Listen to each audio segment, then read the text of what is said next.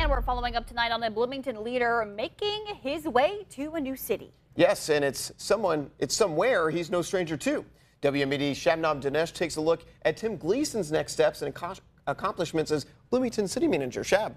Yeah, Thomas Rebecca, uh, Tim Gleason is actually headed to Decatur okay. as their city manager, and he actually served as their city manager back in 2015 to 2018. Wow.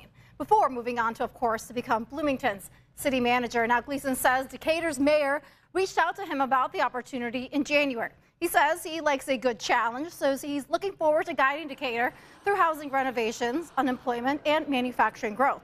In fact, housing renovation Decatur is something he started back in 2018, and he says it will be exciting to step back into it.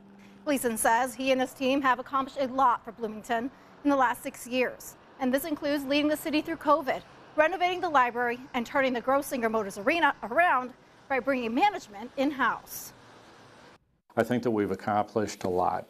And even though uh, several boxes have already been checked, it's really, I think, where we are poised and set for the future. We are on an, an upward trajectory that everywhere in the state, the Midwest recognizes that. And I think it's important for the state of Illinois as well. Now, Gleason's last day in Bloomington is May 5th, and he says the mayor and council members will discuss his replacement during a closed door meeting on April 8th. Thomas.